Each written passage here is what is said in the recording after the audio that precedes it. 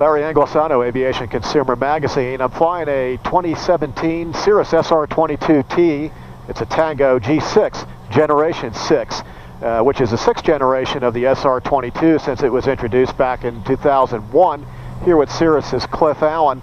Flying this airplane pretty much as it was intended on a long distance trip from northern New England down to Tennessee.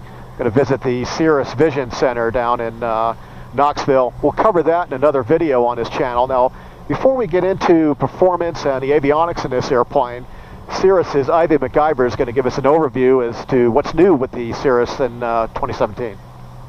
Okay, the 2017 SR22 G6 is really the culmination of all of the things that we've done since we introduced the 22 in 2001.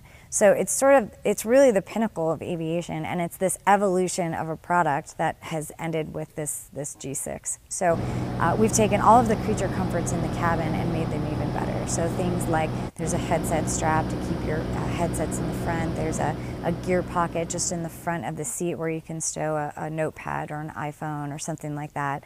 Um, the cabin's a really nice, comfortable place to be. It's quiet. The leather is soft and supple and buttery. The, there's a lot of storage for things like your beverage or your electronics or things like that. You can charge your electronics via USB ports. There's four USB ports inside the cabin. You know, the biggest thing from the inside of the of the G6 is the avionics platform. So we've taken the perspective and really redesigned with Garmin um, all of the guts of the avionics. So you've got a brand new flight deck. It's very familiar because it's from Garmin.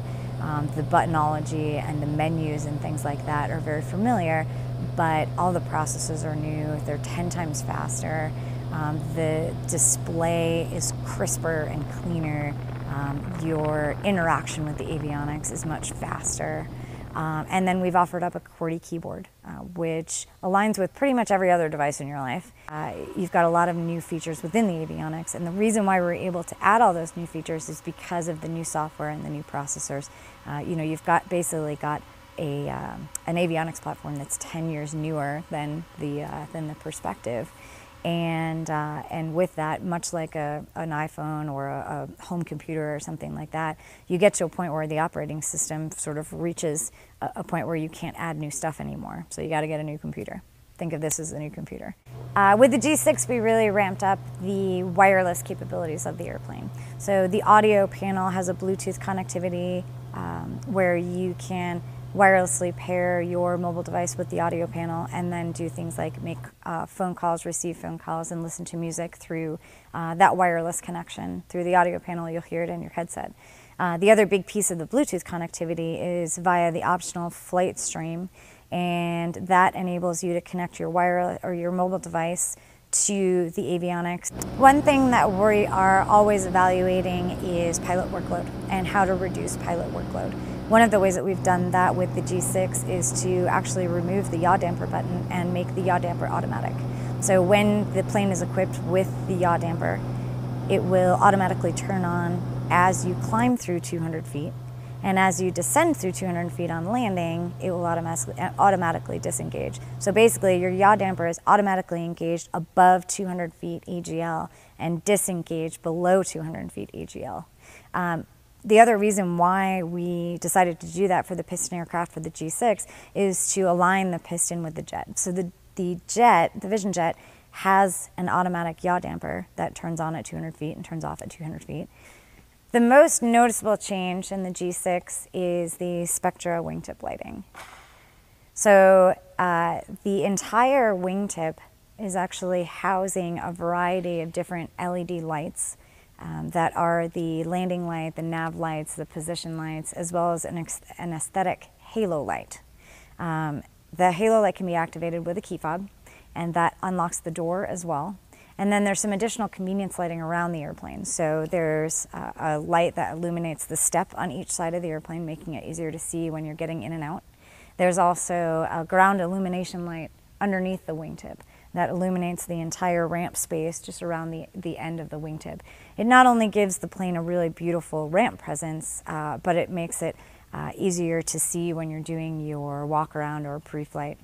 Um, the landing lights themselves on the wingtips have a wigwag functionality. So as you climb out past 300 feet, um, the landing lights in the wingtip go from steady to alternating left and right. And they will stay on that wigwag functionality throughout your flight. And when you come in for landing at 300 feet on the descent, they turn to solid. So it makes you much, much more visible when you're up flying and in an airport environment. Um, and they're just super bright and super beautiful. The 22T comes standard with a Hartzell composite prop. Uh, this is also an option on the 22, and we also have a composite prop option for the SR20. In addition to the paint schemes that we offer in the platinum, carbon, and rhodium upgrade packages, we also offer a program called the XI Personalization Program. And this allows you to work with our design team to really customize and personalize your aircraft and make it uh, unique and meaningful for you and truly a one of one aircraft on the ramp. So Cliff, this is a uh, turbocharged airplane. What's the typical altitudes that people generally fly them? You know, since we're westbound, we tend to stay a little bit lower just to, so we don't get into the big headwinds. So for our trip out to Knoxville, we've been flying between six and 10,000 feet. On the way home, we'll go up high and we'll go fast. So we'll throw on the oxygen mask and we'll probably go to flight level 210 or 230 for a quick ride back home.